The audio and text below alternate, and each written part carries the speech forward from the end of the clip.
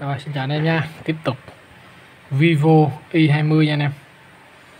Bể màng nha. Cái này thì mình nhận à, hôm nay hai cây. Cái đây với lại cây à, 203 Samsung. Con này thì thay xong rồi. À, Tiếp tục thay con này ha. Bên mình này chuyên à, bán máy cũ Thay thế màn hình sửa chữa Các loại điện thoại nha. Anh em cần hỗ trợ gì alo cho mình nha.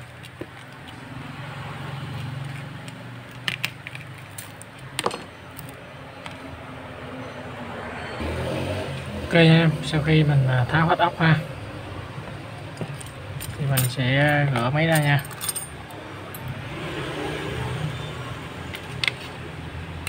Anh em mà sửa tại chỗ cứ tới ngay à, bằng sẽ phước cát gặp mình nha. Hoặc là ngay đằng xanh đèn đỏ. Đường ra cầu quá nè. Thì gặp mình muốn sửa chữa hay là mua máy thì ý mình ha.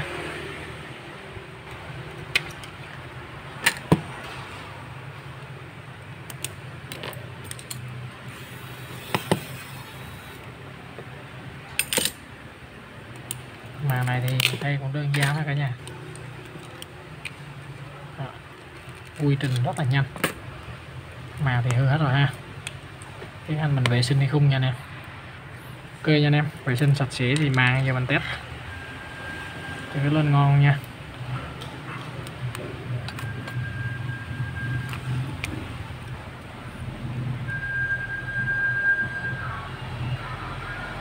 Ok lên nhau nha.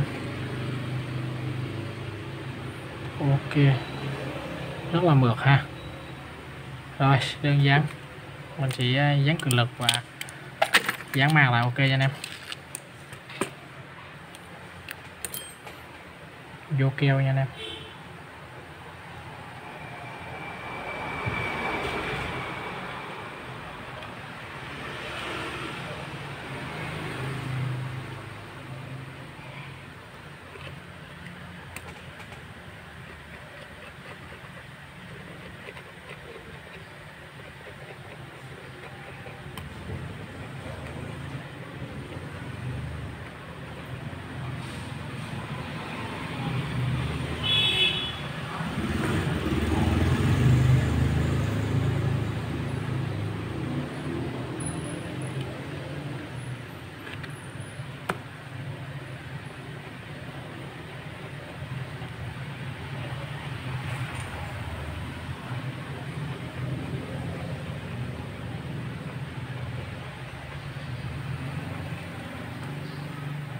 Ok.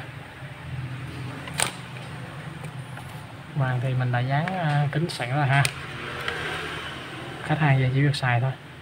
Không có làm thêm một cái một khâu gì nữa ha.